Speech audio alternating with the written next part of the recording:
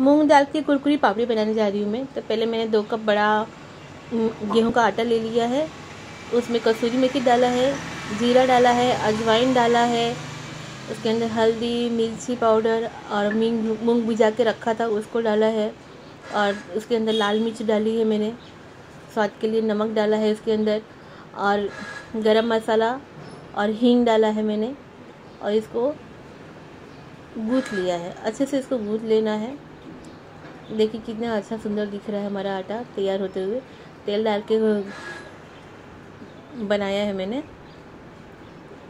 अब इसको बड़ी बड़ी एक लोइयाँ बना लेंगे। जैसे रो, रोटी की लोइयाँ बनाते हैं ना उसी तरह।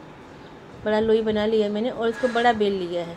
जितना बड़ा हमारा चकला है।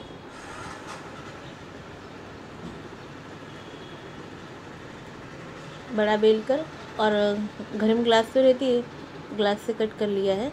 एक ही सेप की तैयार हो जाएँगे सारे। कितना सुंदर दिख रहा है हमारा मूंग दाल। पहले से मैंने तीन घंटे भिजा के रखा था और उसका पानी निकाल के इसमें डाला है। तो बहुत ही चटपटी ये पापड़ी तैयार होगी।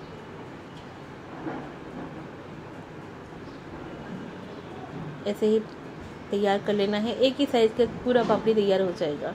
इसमें आपको ये नहीं सोचना रहेगा कि मेरा ये छोटा बड़ा हो रहा है सेकने में।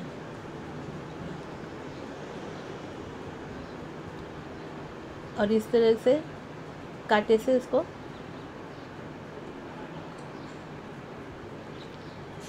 थोड़ा थोड़ा प्रेस कर देना है, ताकि पूरी की ये सब गोल नहीं फूले। और साइड से इसको डाल के तलना है। साइड से डालते हैं तो हमारे हाथ मतलब तेल छिटका नहीं देता। अगर बीच में ऐसा डाल देंगे तो तेल छिटका देता है। तो कभी भी पूरी तलते समय या कुछ भी तलते समय यह याद रखना है कि साइड से डालना है, बीच में नहीं डालना, डायरेक्ट और इसको मीडियम गैस पे तलना है, बहुत फास्ट गैस पे नहीं तलना है।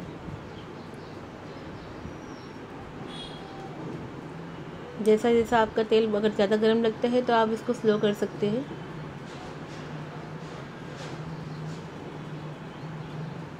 कुरकुरा होने तक और पूरा सुनहरा होने तक तलना है।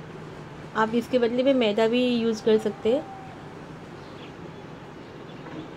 लेकिन मैंने गेहूँ का आटा ही पसंद किया है, हमारे घर में सब लोग पसंद करते तो मैंने उसी का बनाया है।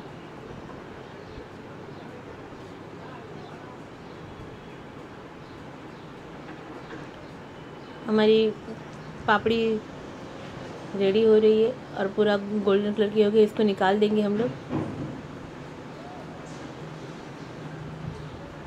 और दोबारा से डाल रही हूँ मैं।